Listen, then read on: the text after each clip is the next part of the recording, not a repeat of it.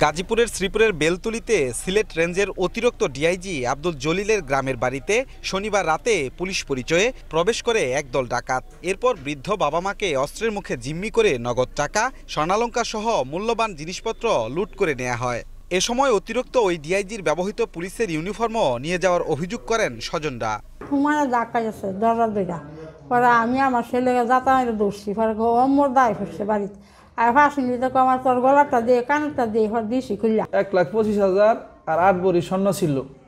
এটা নিচে গা ভিতরে যাওয়ার পরে আমার সন্তানদেরকে দাও ধরছে। ডিআইজির বাড়িতে যদি ডাকাতি হয় সাধারণ মানুষরা আমরা কীভাবে থাকব? আবেদন করতেছি যে আমাদের নিরাপত্তাটা যেন তারা দেয়। পুলিশ বলছে লুট হওয়া মালামাল সহ ডাকাত দলকে দ্রুত এই আইনের আওতায় আনা হবে।